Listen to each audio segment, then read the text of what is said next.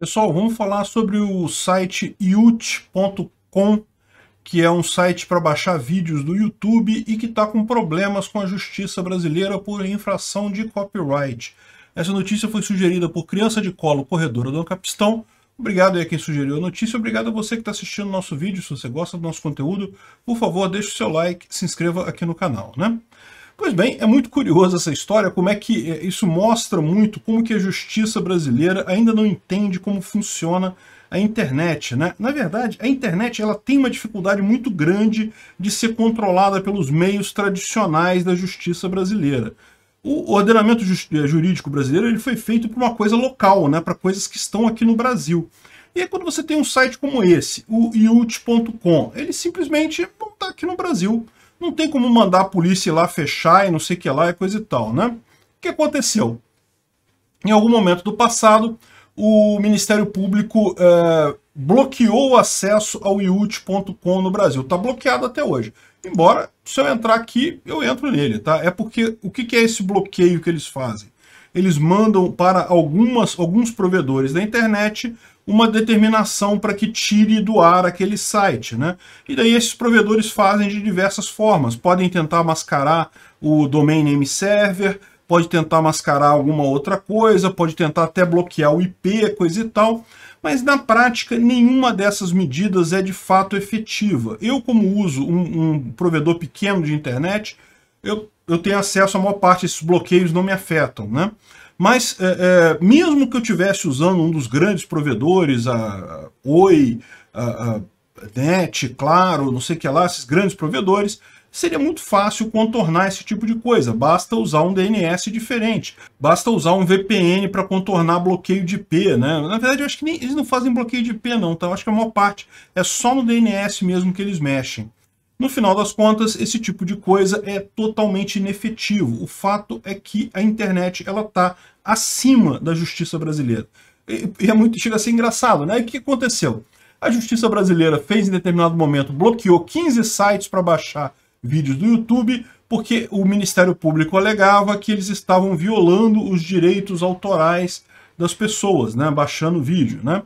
Enfim, só que, caramba, 15 sites vocês sabem quantos sites que tem para baixar vídeo do YouTube na internet? Tem trocentos mil sites. E tem maneiras de você baixar sem ser via site, você usando uh, alguns outros dispositivos, como o VCL Player, que você consegue baixar vídeo do YouTube. Tem milhares de maneiras de você baixar vídeo do YouTube, uh, esses sites são apenas alguns deles. Então, repara, é uma medida que não tem lógica nenhuma, não tem nenhuma repercussão de fato. E, no entanto, o que aconteceu? O dono do Yut.com, ele é um cara que briga muito contra a propriedade intelectual. Então, ele comprou a briga, ele contratou um advogado aqui no Brasil, entrou e coisa e tal. Olha o acordo que o Ministério Público ofereceu a ele. Ofereceu um acordo em que ele pagaria 1 milhão de 1,9 milhão de reais de multa, ele pararia de, ele passaria a passar a, a proibir qualquer usuário brasileiro do site dele, ele teria que fazer não sei o que lá, teria que dar o IP de todo mundo que acessa o site dele, umas coisas assim que não tem lógica nenhuma. O cara é americano, ele está nos Estados Unidos, não tem como o pessoal tirar o site dele. Isso mostra como que a justiça brasileira está defasada com relação à tecnologia. Eles não têm como acompanhar a coisa como funciona, né? Veja, do ponto de vista libertário, propriedade intelectual não existe. Esquece esse troço, isso não tem lógica nenhuma.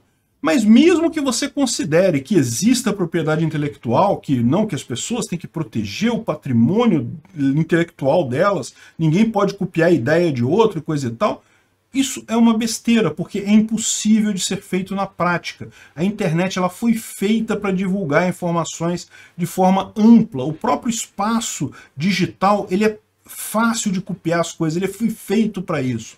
Então, no final das contas, fica essa briga absurda em que fica uma, uma justiça paquidérmica tentando, não, vamos proibir baixar vídeo do YouTube. Caramba, 15 sites, proibiram 15 sites. Deve ter 200 milhões de sites para baixar vídeo do YouTube por aí. Tem script para baixar vídeo do YouTube por aí. Tem o VCL para baixar vídeo do YouTube. Cara, é, é, é tanta enxugação de gelo. E aí você vê nesse caso, o quanto que você imagina que não se gastou em advogado, é, é, o procurador lá do no Ministério Público entrando com essa ação. Nossa, que absurdo! Baixa vídeo do YouTube, não sei o que lá.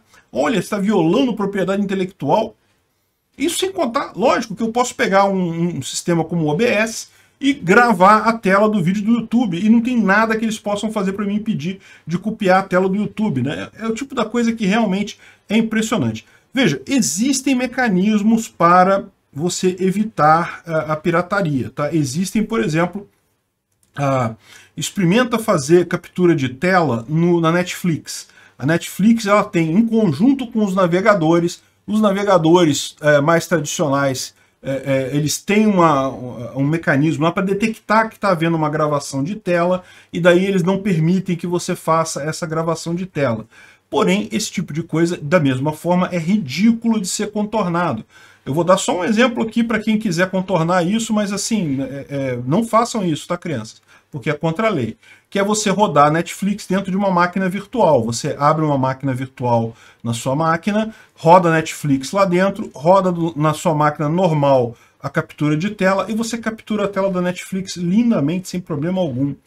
Veja, é impossível fazer controle de propriedade intelectual na internet. A verdade é essa.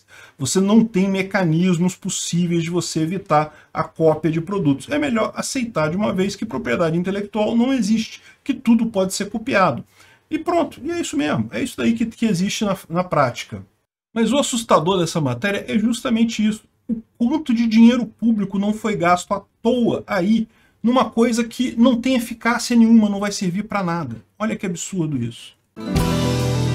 Obrigado por sua audiência. Se gostou do vídeo, por favor, deixe o seu like e se inscreva no canal para aumentar a relevância dele no YouTube. Assim, mais pessoas terão acesso às ideias da liberdade. Considere clicar no sininho e pedir todas as notificações para ser avisado de novos vídeos. Se quiser contribuir sugerindo notícias, vá em nosso site ancap.su, cadastre seu usuário, clique em sugerir pauta. Basta colocar o link da notícia, escolher a melhor foto e confirmar. Se quiser contribuir com o canal financeiramente, veja as formas de apoio nos links da descrição do vídeo. Contribuindo, você pode fazer parte do Discord dos patrocinadores. Se quiser camisas com a marca do canal, veja nossa loja no site pimentanocafé.com.br barra visão libertária. O link está na descrição do vídeo.